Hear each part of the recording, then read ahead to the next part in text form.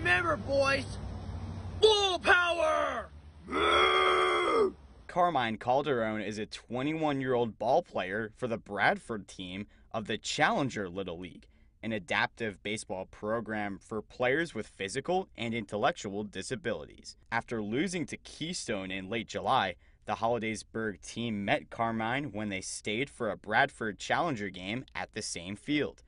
And they stayed to congratulate them after. Hollidaysburg was fantastic about sticking around. They just ran on the field, stepped on a base, started encouraging everybody. Giving them some space, right? You know, coaching and mentoring them to uh, uh, play the game uh, as well as they could. Tigers players quickly noticed Carmine's celebration of choice.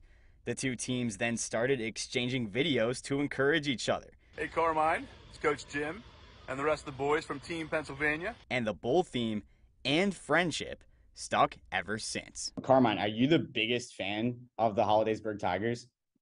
Yes. Aaron and Josh Bridge started the Bradford Challenger team earlier this year with their daughter Delaney, who also plays for the team. They said they started it for something bigger than the World Series. The biggest thing is inclusivity. I mean, it doesn't matter. Everybody loves the game of baseball and to play it with each other.